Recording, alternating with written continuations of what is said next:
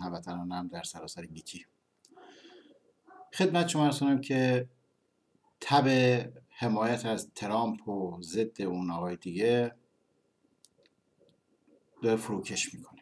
اما من باید جواب چند تا دوستان رو با عقل و منطق و برهان خدمتشون تقدیم کنم.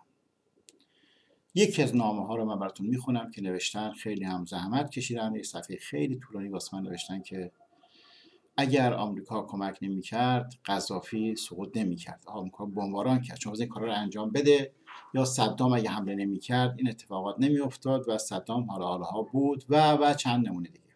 کاملا حرف شما درست. کاملا وقتی نگاه می‌کنیم حرفهای شما بدون برو برگرد صحت داره. اما ما می‌خوام نتیجه گیری کنیم و ببینیم آخر اون کشورها چی شد و چرا ایران صد درصد ببینید صد درصد با اونا فرق می‌کنه. الان خدمتتون عرض می‌کنم. چون محترمانه نوشتید من محترمانه جوابتون میدم. اینها رو برای شماها می‌خوام برای شماها میگم برای آینده کشور میگم برای آینده خودتون میگم. برای من همه چی به بهترین وجه ممکن در طول این 60 سال گذشته.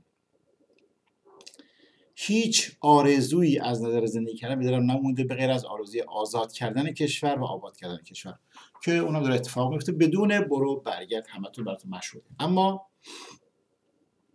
ما نمیریم از 300 سال قبل 200 سال قبل از 60 70 سال قبل صحبت نه. اصلا به ما ویتنامی چه ارتباط نداره؟ هیچ کار نداره جنگ دوم جهانی با ارتباط نداره. ما همین چند سال اخیر که سن یاد میده یا به قول معروف حاضر هست رو صحبت آمریکا به عراق حمله کرد. صدام رو سرنگون کرد. صدام گرفت داد محاکمش کردن و اعدام شد. آیا بعد از اینکه اولا که صدام هیچ آلترناتیوی نداشت که مثلا وقتی بیره کنار مردم امید به اون باشه اون شخص باشه. یک امید نداشتن. یک جایگزین نداشتن. بعد کردستان گفت من اون گفت من ولی خب فعلا همینجوری داره میگذرونن. دست شیعه های عراق افتاد. شیعه عراق هم که خب گن زدن با حمایت جمهوری اسلامی. در طول این چند سالی که صدام رفته از بین رفته چقدر تلفات دادن؟ کشورشون چقدر آباد شده؟ چقدر تحصیلاتشون نابود شده؟ دوستان عزیز این ابرزلت ها وقتی جایی را میرن برای منافعی میرند. چهای نفتش رو گرفتن مدل تخلیه کردن. اگر داعش توی لیبی و جای دیگه چای نفت نمی گرفتن بازار خراب نمی‌کرد کلی بهره برداری می‌کردن.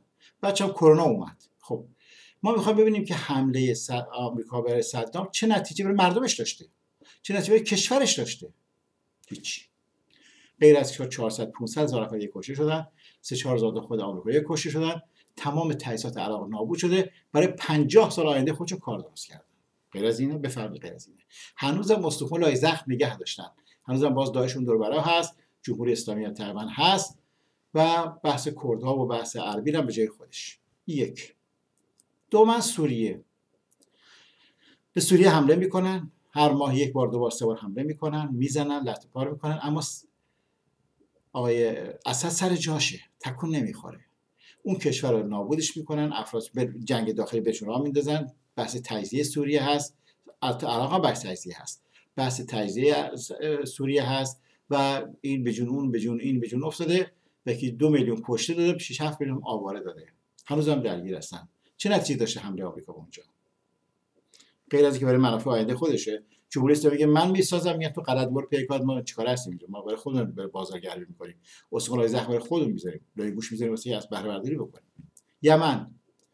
یمن آقایون اومدن یه اتحاد بزرگی تشکیل دادن. عربستان امارات کجا کجا؟ خود آمریکا و بمباران کردن و ال کردن بل کردن. نیروهای به اصطلاح نیروهایی که زیر نظر جمهوری اسلامی بودن. که همش بازی هست. جمهوری اسلامی مهره دست آمریکاست. مهره دست ابرذلت هم ذلیلشه هم نقطه ضعف داره هم برای بقای خودش دست به هر کاری می‌زنه. حالا من بحث تجزیه یمن هست چون یمن هم لیدری نداشت. اصلا نداشت. یه لیدری که مثلا آماده باشه بیاد مردم امید به اون داشته چون وجود نداشت. اینه که اصلا پاشیده هستن. یمن هم بیجا رسید یمن زد اینا زدن اون زد این زد که آمریکا قدرت پوشالی خودش رو تو منطقه اعمال بکنه که نمی‌تونه. هیچ وجه نمی‌تونه. یمن هم که همون درگیری هست و هنوز تمام نشده و از این حرفا. تنها کوه اینا موشی که زایده یه پرواز از اسرائیل بده بره امارات. خب دیگه کدوم کشورتون میگم؟ لیبی رو بگم که گفتی اگه نبود. لیبی داشت زندگیشو می‌کرد. قذافی خب کار زیادی کرد. ظلم و ستم آبادانی کرد هم این ظلم و ستم کرد مخالفین خودش. آمدن بمباران کردن قذافی در بدر کردن و از تو لوله کشیدنش بیرون و کشتنش. آیا لیبی به آراسایش آرامش رسیده؟ اونم جایگزین نداشت. اونم کسی نبود که بعد از اون بیا این آلترناتیوی که 90 درصد مردم قبولش دارن. چه اتفاقی افتاد؟ لیبی هنوز جنگی هنوز درگیری است. مردم رو آسایش آرامش ندیدن. تأسیساشون تمام نابود شده است و قذافی هم کشته شد. حالا یکی دیگه هم بگم بعد. حالا میریم سراغ مصر. مصر چه اتفاقی افتاد؟ آمریکا حمله کرد. آقای مبارک رفت کنار سری رفت کنار خودش. مبارک فهمیدی چه اتفاقی رفت کنار. آقایون اخوان مسلمان سر کار. اخوان مسلمان سر کار رو بگیر و بزنه ببنده با کلی تلفات کلی درگیری خب آمد سر کار. بعد آمریکا به مزارش خوش نیومد. حالا به هر دلیلی. آمدن آقا رو گرفتن کردن زندان حکم اعدام در آوردن. از خود از توی بول معروف لپای خودشون یه آقا رو گشتن اونجا. آیا الان مصر دچار آرامش هست؟ چقدر تلفات داده؟ چقدر درگیری هست هنوز هم درگیری ها زیاده هنوز به آرامش نرسیده. اقتصادی داره. چون مبارک هم جایگزین و جانشینی نداشت. که کسی باشه که آلترناتیو مردم باشه و بگه هستن. گفت اینا رو گفتم براتون. چطور شد تو این همه بمباران و موشکباران کارا رو کردن؟ یک گلوله. نه به کاخ صدام زدن. نه به اسد زدن نه به قذافی زدند و نه جای دیگه. در طول تاریخ 40 50 سال اخیر فقط یک موشک یا بمباران کردن کاخ صدام و یه قسمتش رو. اونم صدام می‌خواست بیاد اهواز رو بگیره و اینا به خاطر بگن صدام کشته شده زدن شایعه کردن که جنگ فرسایشی بشه. این تنها کاری که کرده آمریکا تو منطقه. اونم اسرائیل زده به دستور آمریکا. حالا آمریکا بیاد. این کارو بکنه حکومت ساقط بکنه و همین راحتی ول می‌کنه میره. ما تمام زحمات ما کشیدیم. کارا رو ملت کردن. تلفات دادن. به دستور آمریکا تلفات دادن. فکر نکنید. با گلوله آمریکایی زدن ملت رو. با گلوله روسی و چینی زدن ملت رو. فرق نمی‌کنه. حالا ما بگیم آقا ما مردم قیام کردن فلان کردن. حالا میاد طرف ما رو می‌گیره و به حکومت اخی برو کنار که پیش مردم قهرمان بشه. نمی‌تونه بشه. مردم ما ریشه دارن. خیلی ریشه دارتر از تمامی کشورها هستند دنیا در اول پنج تا کشور بوده. روم که حالا تمام اروپا زیر مجموعش در بودن عثمانی ترکیه شام سوریه مصر و ایران. بقیه از بقیه زاییدن. چین که قبیله قبیله بوده و و خیلی مسائل دیگه. پس می‌خوام دوستان عزیز جوان ما عزیز گرامی اونها اگه بیان اینجا کلنگ مخ قبلش نمی‌خوام بزنم. من می‌خوام حساب اولا ایران به هم بریزن. یک اونا کاری که خواستن زمان شاه بکنن شاهنشاه گذار رفته نشد. هم برای تجزیه ایران البته رو بهتون بگم به زودی زود به زودی هم کیسینجر به درک واسه میشه همون جورج این آرزو رو گور می‌برن. این خمینی. خمینی گفت اگه 20 سال طول بکشد ما جنگ ما برنده هستیم. خب خدا زد تو دهنش یکم از این زد زهر کاسه زهرم بهش داد خورد بچه مرد. اونها هم که آرزوها رو دارن به گور می‌برن. اما ایران فرق عمدهش با کشوری که اسم بردن براتر دور بر ما است ایران یه لیدر بزرگ داره. زنده است هی حاضر توانمند و توانا با دانش و با هوش با سیاست و فراست. کسی نمی‌تونه اینها رو کتمان کنه. شهبانو فرعینی یک کوه ایستاده.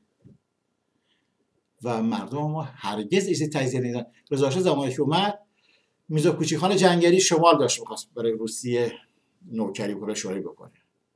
غیر از اینه میگه. یه توی با کمک داردستی مصدق از جنوب می‌خواست حرکت کنه که اون بر بچه بوشهر اونا جلوشی گرفتن. یه چند تا از این شیخ می‌خوان باز تو خوزستان می‌خواستن شروع کنن. رضا شاه مر سرجاش نشون. یعنی رضا شاه چه عرض کنم؟ رضا شاه نسی کار بکنه. با کمک ملت هم مردم همون استان.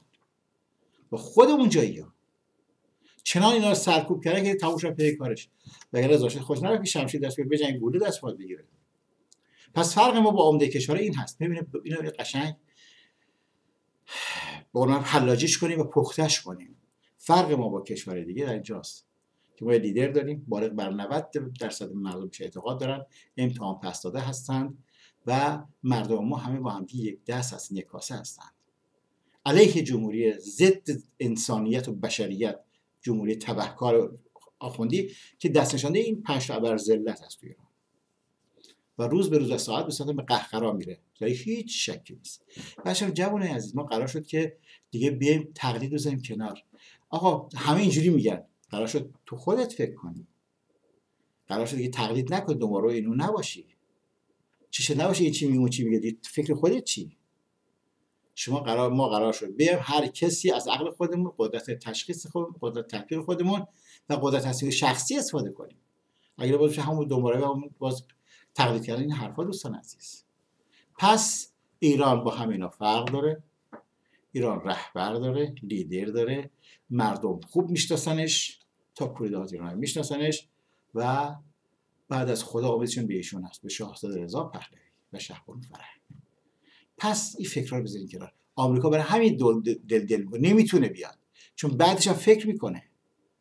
آمریکا بهتر از اینکه سر خودش بشینه. انتخابات چه برگزار؟ هر کار با ما هیچ ارتباط کرده ما چی می‌خواد رأی بیاره اونجا؟ ما دیگه هزینه ها رو دادیم. اینا بردن خوردن دوزن می فلاکت افتاد. همشون دزدیدن از کشور. حالا باز بیان طرف ما رو بگیرن. به قول معروف با دست پس بزنن جنگ زرگری و سیاه بازی و خیمه شب بازی را بزنن نه. مردم ما با تمام کشوری که بزن عرض کردم همه چی حاضره دیگه براتون گفتم. صد درصد متفاوت خدمت هستم که راجع ماشین صحبت خواهم کرد و فتنه و فاجعه ای که بازاریا برای ماشین صنعت ماشین تو ایران درست کرد صحبت خواهم کرد که هزینه‌اش و تلفاتش از جنگ بیشتر بود. صنعت ماشین سازی رو صحبت خواهم کرد. برای مسکن یک کلیپ دیگه خواهم گذاشت که تمومش کنم بحث مسکن و بحث مسکن گرو خریدید بهره بانکی بالا و و اینا صحبت خواهم کرد براتون.